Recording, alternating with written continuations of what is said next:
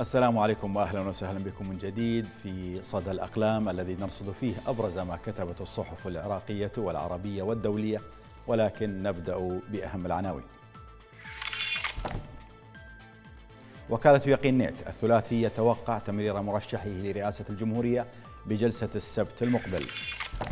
صحيفة المدى الكهرباء ترهن تحسن ساعات التجهيز بالسيولة المالية والخطة الوقودية.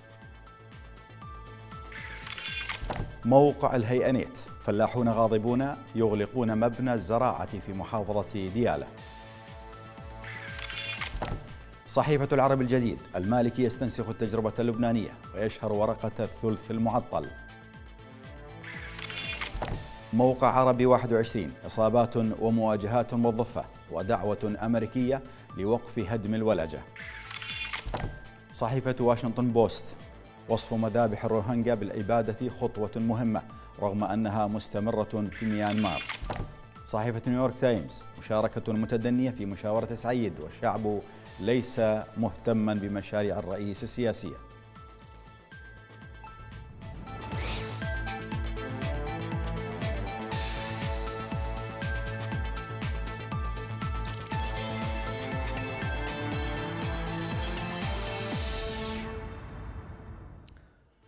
وإلى صحيفة القدس العربي. يقول الكاتب مثنى عبد الله في مقال نشرته صحيفة القدس العربي هل توجد سيادة في ظل حكم الأتباع والذيول المسبحين بحمد بحمد الحاضنين الدوليين والإقليميين؟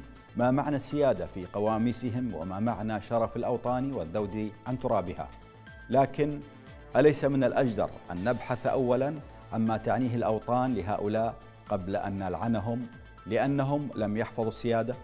ثم أما سمعتم بأن العزائم تأتي على قدر أهل العزم فعلامكم تنفجرون غضبا لأن 12 صاروخا إيرانيا دك الأراضي العراقية الأسبوع الماضي ومع ذلك لم يرمش لأحدهم جفن, جفن عجبا. أنسيتم أن محور المقاومة ساحاته العراق وسوريا ولبنان واليمن وأن تحرير فلسطين والقدس الشريف لن يأتي إلا بتدمير هذه الساحات أولاً. إذا كان الزعماء المحليون لهذا المحور أكلهم وشربهم وتدريبهم وتسليحهم كله يأتي من الجمهورية الإسلامية الشرقية ويصطفون خاضعين صامتين في حضرة المرشد الأعلى وزعيم فيلق القدس قآني حينما يجول في هذه الساحات فيوجه ويرسم الخطط ويأمر. فهل يوجد بعد كل هذا من عاقل يسأل لماذا لا توجد سيادة عراقية أو سورية أو لبنانية أو يمنية؟ اسألوا أي واحد من هؤلاء الذين يمسكون بالسلطات في العراق وبقية دول ما يسمى محور المقاومة. عن ماذا تعنيه الوطن والدولة والسيادة بالنسبة له؟ سوف لن تجدوا إجابات لديه لأن الوطن لا يشكل ومضة معنوية في عقله وضميره. الوطن بالنسبة له هو جزء من ولاية الفقيه وهو لا يعترف بالدولة لأنه منتظم في إطار من الأطر الخارجة على الدولة وبالتالي لا يعرف معنى السيادة تبعا لذلك. لكن إن سألتموه عمن هو وماذا يمثل ستكون الإجابة سريعة أنه جندي من جنود الولي الفقيه. وإنه سينضم للقتال في صفوف جيش وميليشيات هذا الرجل ضد الوطن الذي ولد وترعرع فيه. إن تطلب الأمر ذلك. هذه هي المعادلة التي تحكم الأوضاع في العراق وبقية البلدان التي تسيطر فيها الأذرع الإيرانية على الحكم. لقد بات يقينا أن الشعب العراقي لم يعد يراهن في حماية أرضه على أي من هؤلاء الحكام. فالأنظمة التي تحكمها دما لا يتطلب من السكان تصديق زعاماتها. المطلوب فقط عدم تصديق أي شيء على الإطلاق منهم لأنهم في كل مناسبة وفي كل موقف يعلنون بصراحة تامة حتى لمن لم يدرك حقيقتهم بعد أنهم فاقدو الإرادة والرؤية لكنهم يظنون أن شعبهم بعقول إسفنجية قابلة على امتصاص الرأسمال الوحيد الذي يملكونه وهو الأقوال بلا أفعال.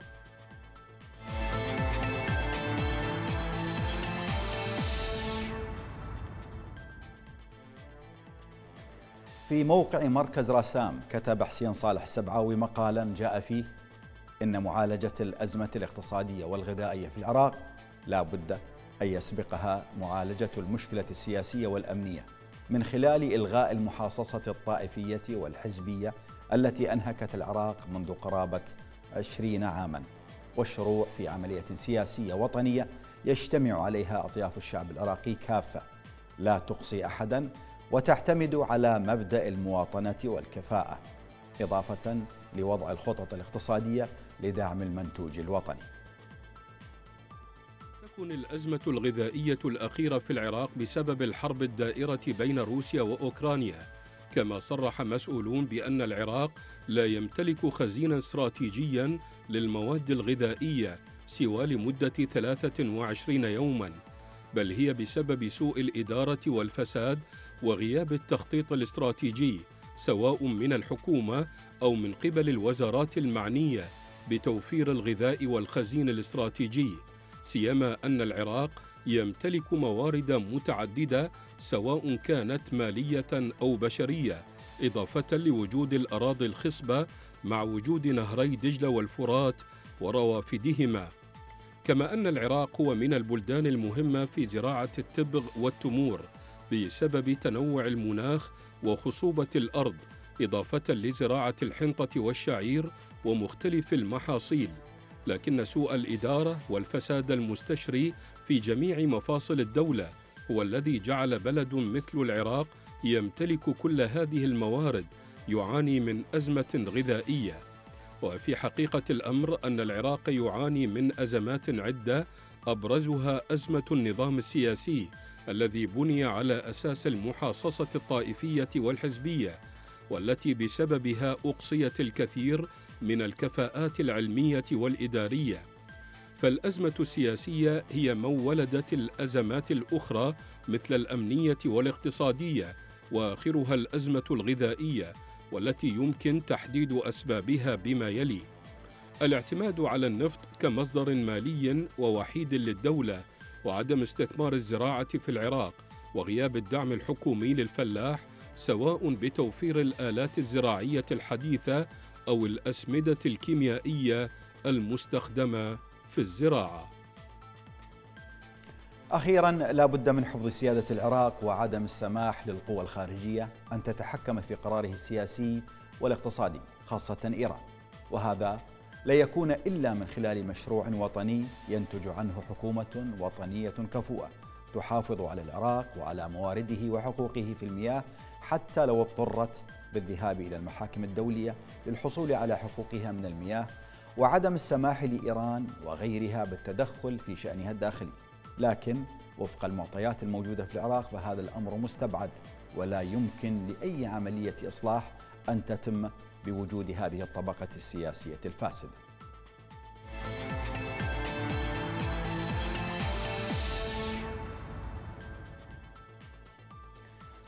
تقول الكاتبة سارة جميل في مقال نشرته صحيفة الميثاق بني شارع المتنبي في زمن الحكم العباسي ويمتد عمره بعمر بغداد تقريبا.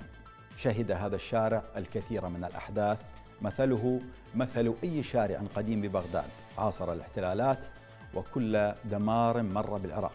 لكنه بقي صرحا وعمودا ثقافيا وعلميا إلى يومنا هذا. يتميز شارع المتنبي بامتداد المكتبات على طول هذا الشارع حيث تمتلئ بالكتب الجديدة والقديمة التي ممكن أن تعود لأكثر من قرن تقريبا. عند ذهابي لهذا الشارع في الليل رأيته يعج بالحياة ومليء بالناس حيث لا مجال للوقوف.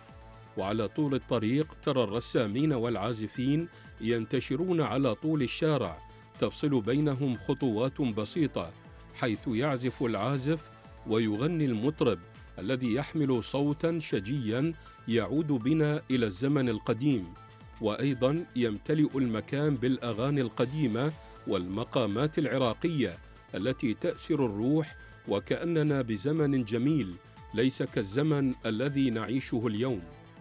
عند الدخول لهذا الشارع نشعر بأننا بعالم آخر ليس كالذي نعيشه.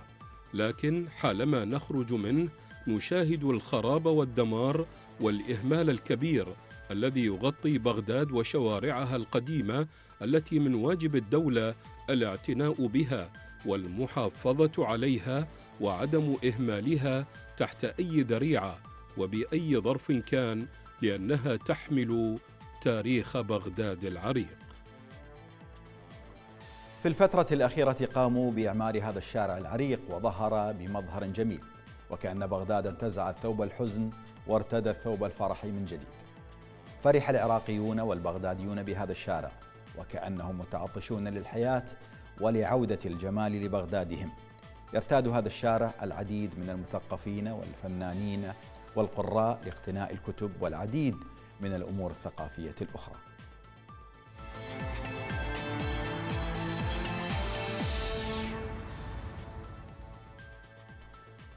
علقت صحيفة واشنطن بوست في افتتاحيتها في إعلان الولايات المتحدة أن الطغمة العسكرية الحاكمة والميليشيات البوذية ارتكبت جرائم ضد مسلمي الروهينجا وتحت بأنها جرائم إبادة عنوان خمسة أعوام من الإبادة ضد الروهينجا الرعب في ميانمار مستمر. قالت الصحيفة أن سياسة الأرض المحروقة ضد المسلمين الروهينجا في ولاية راكين شمال مانيمار قبل خمسة أعوام خلفت وراءها الإرهاب وأجبرت نحو مليون من السكان على الهروب إلى بنغلاديش. المهمة النبيلة من منع تحول الماضي إلى ديباجة لا تزال عملا غير مكتمل في ميانمار حيث يواصل نظام إجرامي إمطار الجحيم على من يعارضونه. وكان قرار بلينكن هو الثامن الذي يصنف الجرائم التي ارتكبت ضد المسلمين الروهينجا في الفترة ما بين 2016 2017 وهو قرار في محله. فقد ارتكب الجيش موجتين من العنف ضد الروهينجا وجرت الموجة الثانية في عام 2017 واستهدفت المدنيين بطريقة وحشية بحسب وزارة الخارجية الأمريكية. وقام الجيش المعروف باسم تاتمادو باغتصاب وقتل وتعذيب الروهينجا وحرق القرى وتسويتها بالتراب. وفي الثاني من أيلول سبتمبر قام الجيش وسكان القرى البوذية بقتل عشرة من المسلمين الروهينجا بعد تقييدهم معا ثم دفنوا في مقبرة جماعية. وبعد شهر لم يبقى من ستة آلاف مسلم عاشوا مرة في قرية إندين الساحلية أحد. وكان هذا واحدا من الأمثلة على عملية الجيش التي قادت لخروج المسلمين. إن الوحشية التي تميزت بها الحملة ضد مسلمي الروهينجا كررها الجيش في محاولته للسيطرة على السلطة ومواجهة التمرد في مناطق أخرى من ميانمار واستخدم نفس الأساليب اللا إنسانية. وقالت الصحيفة إن هناك الكثير الواجب عمله يجب أن نعمل على منع وصول الدولارات عبر البنوك التي تحافظ على النظام وفي الوقت نفسه الضغط على محكمة الجنايات الدولية لمحاسبة الطغمة العسكرية على الجرائم التي ارتكبها. قال بلينكن وزير الخارجية الأمريكية سيأتي اليوم الذي يحاسب فيه المسؤولون عن الأفعال الرهيبة التي اقترفوها وبوصف ما فعلوه بالإبادة. فإن العالم سيساعد على القصاص منهم سريعا بحسب الصحيفة.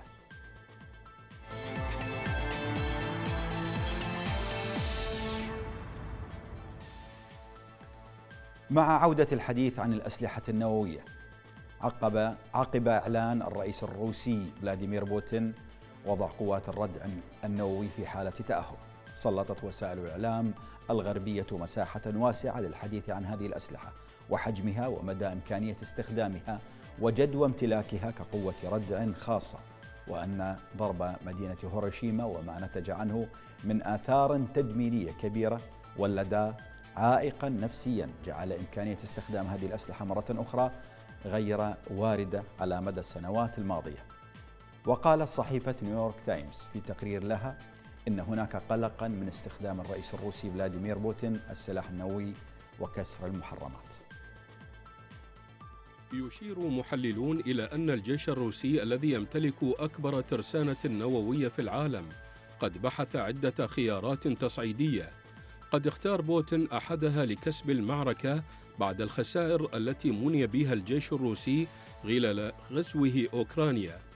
وقال الخبير النووي في جامعة هامبورغ ومؤسسة كارنيجي للسلام الدولي أورلاش كون إن فرص استخدام بوتين للسلاح النووي منخفضة لكنها آخذة في الارتفاع مضيفا أن الحرب لا تسير كما يريد الروس إضافة إلى أن الضغط الغربي على روسيا يتزايد.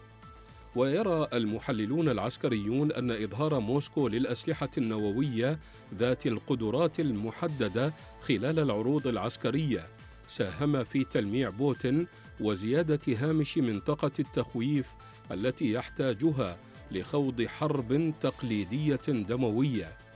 وتقول أستاذة العلوم السياسية في جامعة براون نينا ناتون لود إن بوتين يستخدم الردع النووي ليشق طريقه في أوكرانيا. إن هناك تقديرات حديثة تشير إلى أن هذا النوع من السلاح يعادل نصف القنبلة التي سقطت على هيروشيما. وإذا ما أطلقت وسط مانهاتن فإنها ستقتل أو تصيب نحو نصف مليون شخص.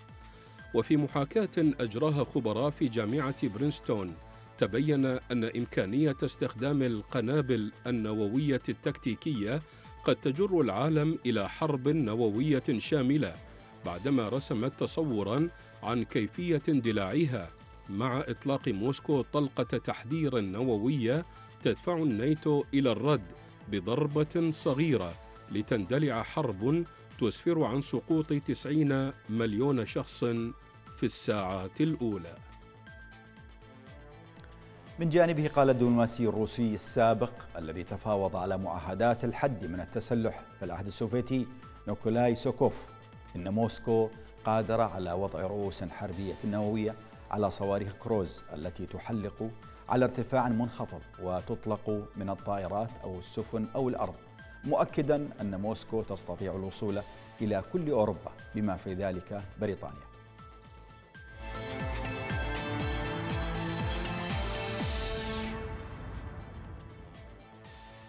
نشرت صحيفة برافدا الروسية تقريرا تحدثت فيه عن تداعيات اقتراح بولندا إرسال بعثة حفظ سلام تابعة لحلف شمال الأطلسي إلى أوكرانيا. نائب رئيس وزراء بولندا يارسولاف كاتشانيزكي أشار إلى أن إرسال بعثة حفظ سلام تابعة لحلف شمال الأطلسي إلى أوكرانيا يعد بموجب القانون الدولي أمرا مقبولا ولن يتسبب في أي حال من الأحوال في تأجيج الحرب. لكن اتخاذ هذه الخطوة من شأنه أن يضع الدول الأعضاء في حلف الناتو في مواجهة عسكرية مباشرة مع روسيا ومع منظمة معاهدة الأمن الجماعي دون الاتعاظ من التجارب الماضية يواصل السياسيون البولنديون إلقاء الخطابات التصعيدية متجاهلين التداعيات المحتملة لذلك التي قد تصل إلى حد تدمير بولندا نهائياً أو تقسيمها للمرة الرابعة في تاريخها. ونقلت الصحيفة عن الخبير في المعهد الروسي للدراسات الاستراتيجية سيرجي يرماكوف قوله إن ياروسلاف كاتشنسكي لا يحتل مكانة تخول له الإدلاء بتصريحات نيابة عن الناتو ووراء اقتراحه رغبة في تكوين رأس مال سياسي لنفسه. الناتو يدرك أن رفض مقترحات روسيا بشأن الضمانات الأمنية التي تقدمت فيها في كانون الأول ديسمبر الماضي. هو الذي أدى إلى الأزمة التي نشهدها اليوم. وأشارت الصحيفة الروسية إلى أنه إبان الحرب العالمية الثانية أطلق رئيس الوزراء البريطاني وينستون تشرشل على بولندا لقب ضبع أوروبا بسبب سياساتها المتبعة في تلك الفترة. وبعد نهاية الحرب العالمية الأولى استطاعت بولندا السيطرة على أوكرانيا الغربية وغرب بيلاروسيا وهي أراض كانت تابعة للإمبراطورية الروسية. فشلت الدولة السوفيتية في حمايتها.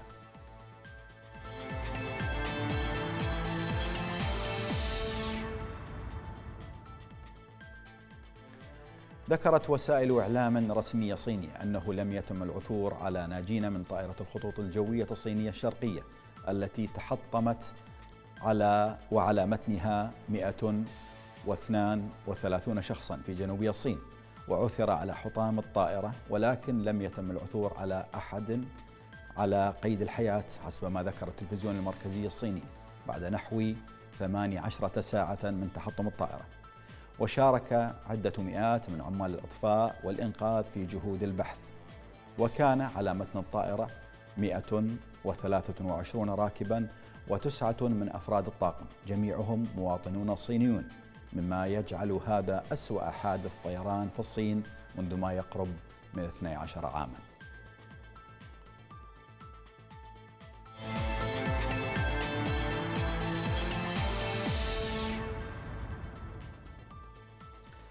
والكاريكاتير أسلوبه الخاص في التعبير عن الوضع. تابعوا معنا.